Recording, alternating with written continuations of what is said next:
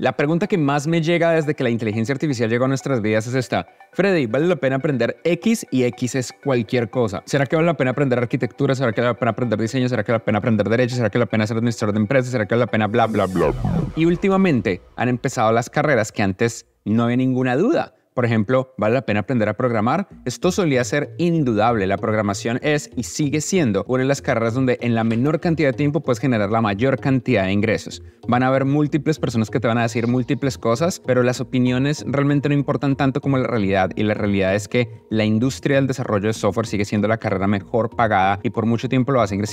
Lo que pasa es que se transforma. Y este es parte del problema. Normalmente existen dos tipos de personas, dos tipos de perspectivas en las personas en el mundo. La perspectiva de que el pie, el tamaño de la torta en la economía es finito y la perspectiva en la que el tamaño de la torta es infinito. Y esto tiene mucho que ver con la industria de tecnología versus la industria real. Cuando se crean los automóviles, no se acabaron de repente todos los negocios de transporte. Lo que pasó fue que se crearon más negocios de transporte. La tecnología crea valor, lo que significa que aunque algunos empleos cambien o directamente desaparezcan, tienden a crearse muchos más. Y esto es lo más interesante a entender antes de ahondar en qué carreras van a fortalecerse más con la inteligencia artificial. La tecnología nunca destruye más empleo del que crea. Nunca. Pero también hay que ser consciente de otra cosa que no te va a gustar, sobre todo si tienes mucha ansiedad. Y después de la pandemia todo el mundo tiene ansiedad. Todo conocimiento caduca. Eso significa que no importa la carrera que tú elijas, puedes elegir la carrera más versátil, más actualizada y más demandada del mercado. Ese conocimiento va a caducar porque la tecnología está en constante avance. Y si no te gusta, te tengo una mala noticia. Naciste en el planeta equivocado, en la cultura equivocada. Esto es real para todo el planeta y para todas las culturas. Pasa que para nuestros padres y para nuestros abuelos, la realidad no era tan así. Ellos veían estos cambios ocurrir en décadas. Nosotros estamos viendo estos cambios ocurrir en meses, en ocasiones en semanas. Nos tocó vivir así. Y eso no es malo. El ser humano es adaptable a todo. Pero primero tenemos que desaprender cosas incorrectas de la generación anterior. Una de ellas es que el PAI es limitado. Los recursos naturales son limitados, pero la tecnología no solamente usa recursos naturales, usa también cultura, creatividad e ideas, y esas no tienen límite, así como Internet no ha tenido límite. Lo que realmente existe es que la tecnología transforma y aumenta el empleo. Siempre que llega la tecnología, el empleo aumenta y la tecnología lo transforma. El empleo de persona que transportaba a caballo un montón de víveres desde la época medieval hasta la llegada del motor de combustión interna, ahora son empleos masivos de logística, de mercancía punto a punto con barcos, con aviones, con camiones, incluso con drones y robots. La tecnología transforma y aumenta el empleo. La tecnología cambió por completo empleos que ni siquiera pensaríamos que han cambiado, como por ejemplo la enfermería, que hoy en día tiene un gran componente de informática dentro de sí misma, desde cosas tan simples como que las enfermeras y enfermeros puedan cuadrar sus turnos en los hospitales, hasta cosas tan complejas como el rastreo detallado de signos vitales de los pacientes y la distribución de medicinas. Todo esto también parte de la forma en la que hemos comunicado inteligencia artificial de una u otra manera. Yo les contaba en programas anteriores este tweet que me hizo ganar un montón de odio, pero todos los tweets hacen ganar un odio porque Twitter es una red para gente que está rota. Rota. En este tweet eh, mencionaba yo en marzo del 2023 que OpenAI publicó una lista de empleos amenazados y mencionaban que estaban amenazados los escritores, los matemáticos, los finistas, los contadores, financieros, ingenieros, abogados, señores web y que a más educación necesitan empleo, más vulnerable es el empleo y que se salvan las ciencias básicas y el pensamiento crítico. Esto no significa que amenaza significa que vayan a desaparecer estos empleos. Tampoco significa que el empleo va a reducirse. Lo que significa es que la naturaleza del empleo está amenazada, implicando que ese empleo va a cambiar. ¿Qué fue lo que entendió la gente? Que yo estaba creando pánico para vender cursos. Que de nuevo es Twitter, la gente va a asumir lo peor sin importar lo que tú digas, pero esto es muy interesante porque es un microcosmos del problema de hablar de los empleos que se fortalecen con inteligencia artificial. Nuestra primera reacción como seres humanos, que es un bug de nuestra cabeza, es asumir lo peor en vez de imaginar lo mejor. Y es parte de la existencia de este video. Que estén amenazados no significa que desaparezcan, significa que la naturaleza del empleo cambia. Y con el cambio de la naturaleza del empleo también cambia la forma en la que nos aproximamos a ello. Y es de lo que vamos a hablar el día de hoy. La inteligencia artificial va a fortalecer muchas más carreras de las que va a afectar. Arrancando por nuestra carrera favorita de la que más hablamos, software. Obviamente ustedes en este punto ya probaron GitHub Copilot y si no lo probaron los animo mucho a probarlo. No significa que GitHub Copilot vaya a eliminar a los programadores, pero sí elimina muchísimo del trabajo que antes se hacía en programación. Y al eliminarlo no elimina el empleo, hace el empleo más veloz.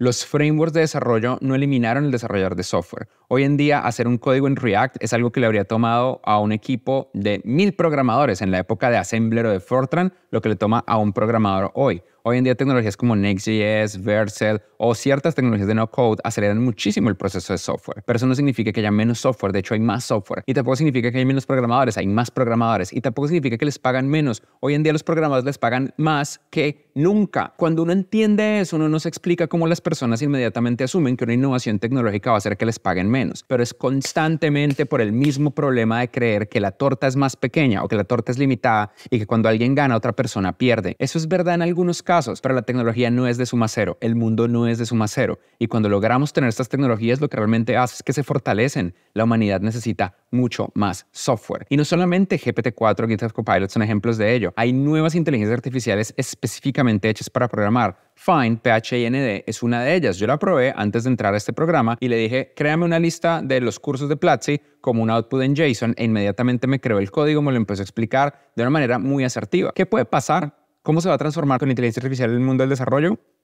No lo sé, nadie lo sabe, pero tengo una sospecha. Mi teoría personal es que van a haber menos frameworks y vamos a tener que hablar más con usuarios. ¿Por qué menos frameworks? Porque frameworks como React, Angular y todos estos frameworks de desarrollo, frameworks para CSS, frameworks para el desarrollo de aplicaciones móviles, están hechos para que los programadores puedan hacer más código de una manera más sencilla. Son abstracciones hechas para humanos. Las inteligencias artificiales no necesitan abstracciones. Las inteligencias artificiales les parece trivial transformar un código de PHP a un código en C Sharp un código en C Sharp a un código en Java, un código en Java un código en Ruby. La transformación y la equivalencia es trivial. Entonces, para ellas no es necesario estar pensando en la naturaleza reactiva ni ninguna de estas cosas. Pero eso no significa que los programadores no sean necesarios. Nosotros seguimos siendo necesarios para pensar en qué es lo que el usuario necesita, para entender el problema y construirlo en una solución.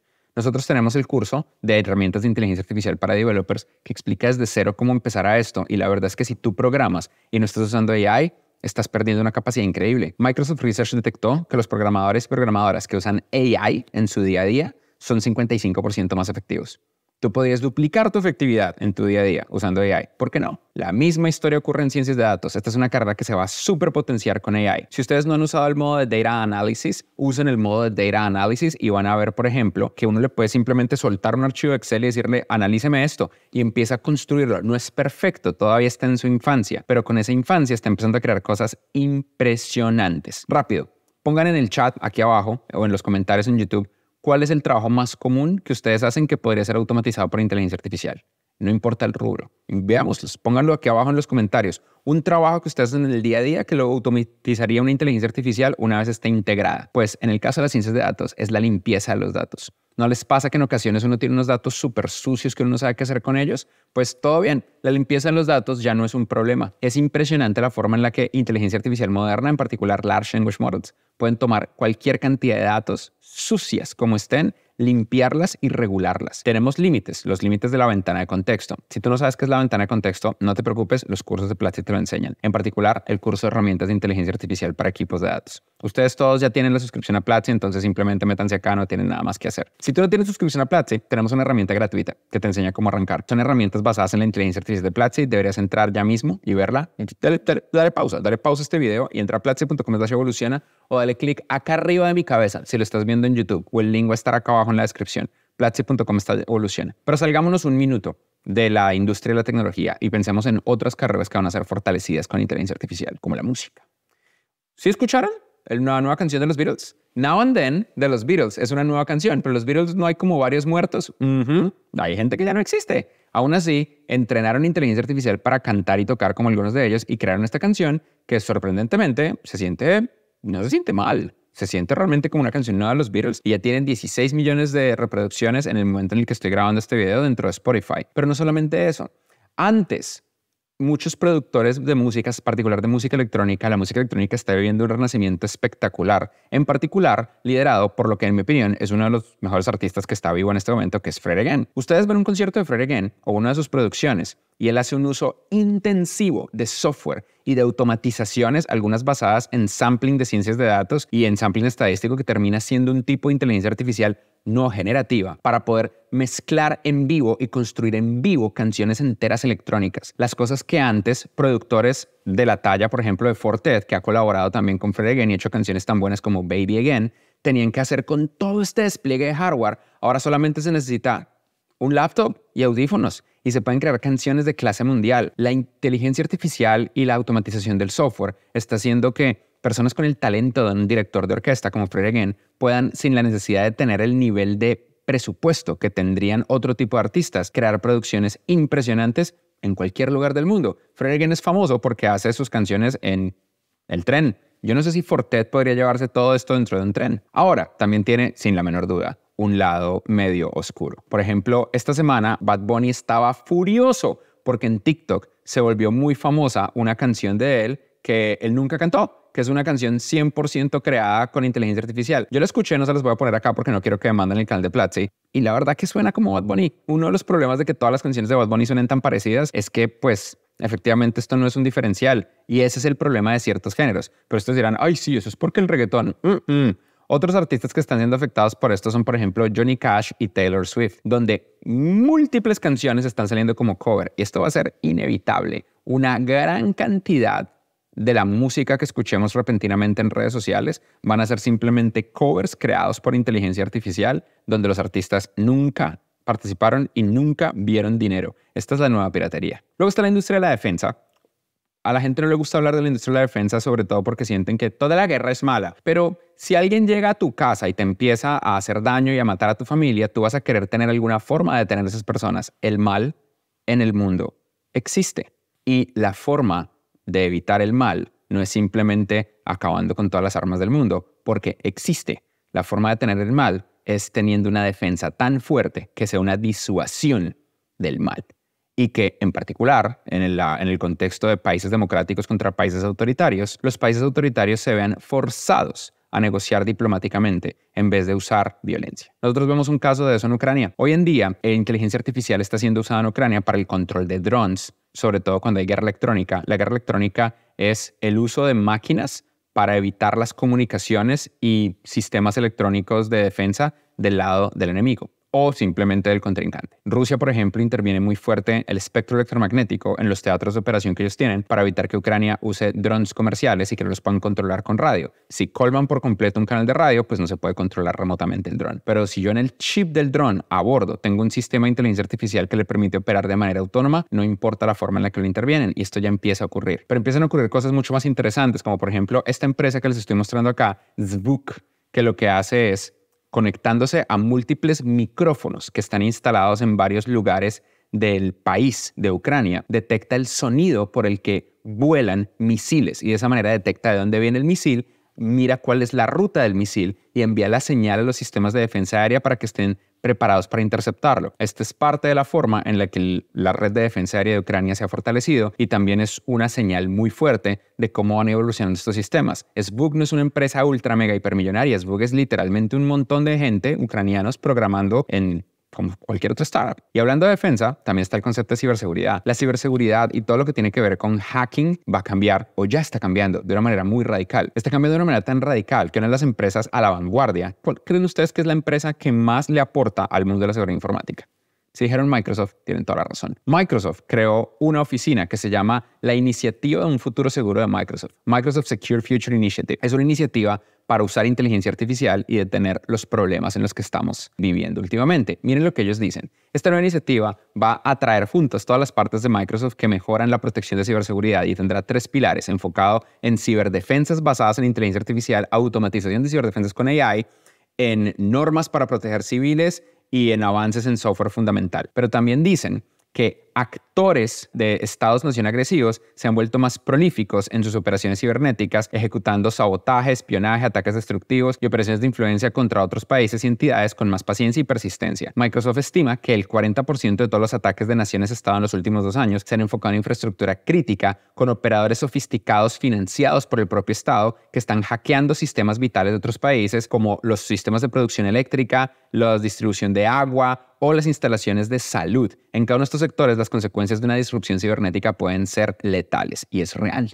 Es real y está ocurriendo en este instante. También el liderazgo está cambiando. Con inteligencia artificial es posible procesar de una manera mucho más masiva grandes cantidades de datos, lo que hace que los líderes que necesitan tomar decisiones a alta velocidad o mandar órdenes de una manera más efectiva o entender qué es lo que está haciendo su equipo, lo pueden hacer sin tener que leer la gran cantidad de datos que antes hacían o procesando análisis de datos de una manera más efectiva. Nosotros ahondamos mucho más al respecto de esto en el curso que tenemos para empresarios, el curso de diseño de estrategias de negocio con inteligencia artificial, que ya mismo puedes acceder con tu suscripción. La ciencia está cambiando y la ciencia está cambiando de una manera radical. El MIT publicaba en mayo del 2023 que usando inteligencia artificial, científicos han encontrado drogas que pueden combatir las infecciones que resisten los antibióticos. La resistencia a los antibióticos se está volviendo uno de los problemas más importantes de la humanidad y la inteligencia artificial es capaz de automáticamente detectar nuevas moléculas. Pero también está el otro lado del problema y es que cada vez están saliendo más y más papers científicos falsos en la era de la inteligencia artificial generativa. Nature hizo un análisis en el que encontraron que cada vez más están aumentando el porcentaje de papers que son publicados en revistas científicas como Nature, donde la similitud del texto es extremadamente cercana. También está pasando que se está usando inteligencia artificial para detectar estos papers, para encontrar cuando los datos son falsos o simplemente para automáticamente procesar los datos de un paper y ver qué tan probable es que el paper tenga errores e inmediatamente rechazarlo de manera automática. Preocupantemente, el área donde más papers científicos son falsos es en la medicina y la biología, seguido de la química y la ciencia de materiales. Pero por otro lado, estas herramientas están empezando a crecer usando la propia inteligencia artificial como un sistema de evitar que este tipo de cosas pasen. Por ejemplo, STM Integrity Hub integró una herramienta llamada Papermill Alarm de una empresa llamada Clear Skies, que lo que está haciendo es detectar este tipo de cosas. Y lo que sí está pasando es que los científicos cada vez más están usando inteligencia artificial generativa como una forma de asistente. Ellos dicen que les ayuda a estos científicos a poder hacer investigación cuando inglés no es su lenguaje nativo, que es la inmensa mayoría de la humanidad, hace que la programación sea más rápida y más eficiente. Tengan en mente que los científicos también necesitan hacer código, genera un montón de resúmenes de otra investigación que ahorra mucho tiempo, acelera las tareas administrativas, etcétera, etcétera. La inteligencia artificial está acelerando la ciencia. También está cambiando mucho la arquitectura y el diseño. Este, por ejemplo, es una foto de un diseño de interiores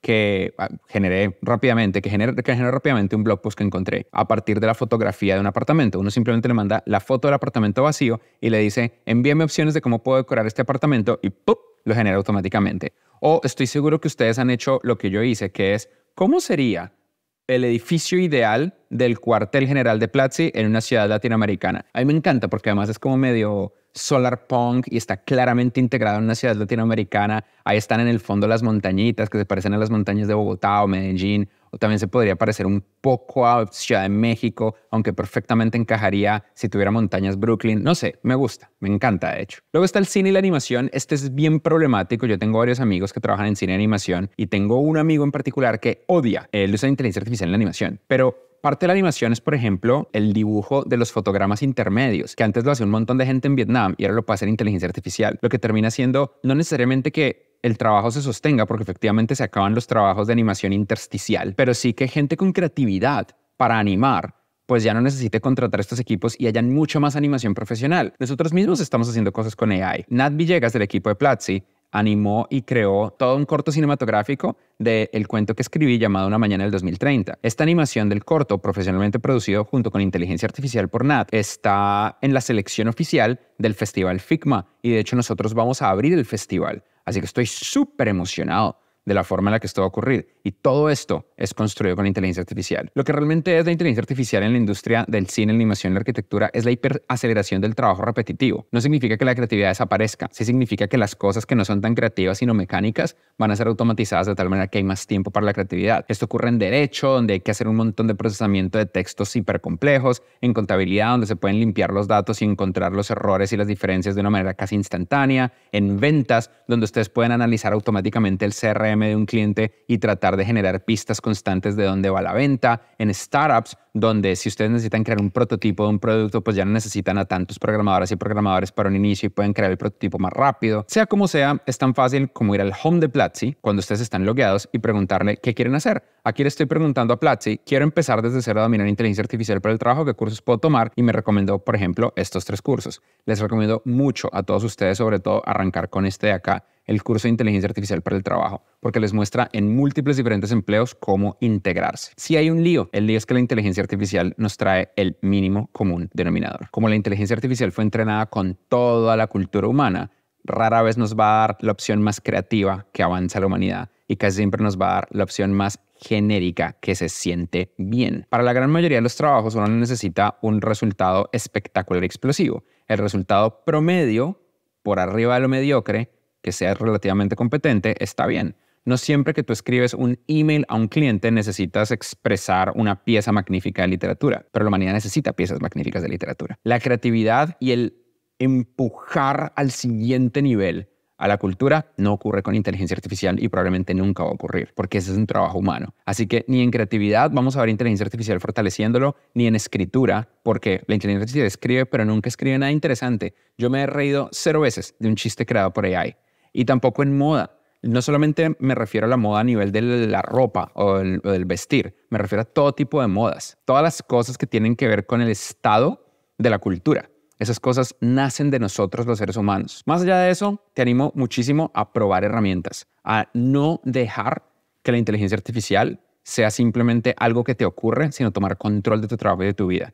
Todas las carreras van a tener inteligencia artificial en su núcleo y la inmensa mayoría de carreras se van a fortalecer con AI. Nosotros tenemos dos sistemas que te permiten descubrir cómo tu carrera se fortalece con inteligencia artificial y encontrar cuál es la ruta ideal para ti están completamente gratis, disponibles ya mismo. Ve a platzi.com slash evoluciona, encuentras el link, puedes escribirlo a mano o encuentras el link acá abajo en la descripción o dándole clic acá arriba en la cabeza. Nunca, nunca pares de aprender y recuerda que al igual que la tecnología y al igual que Internet, la inteligencia artificial es tu amiga si sabes usarla bien.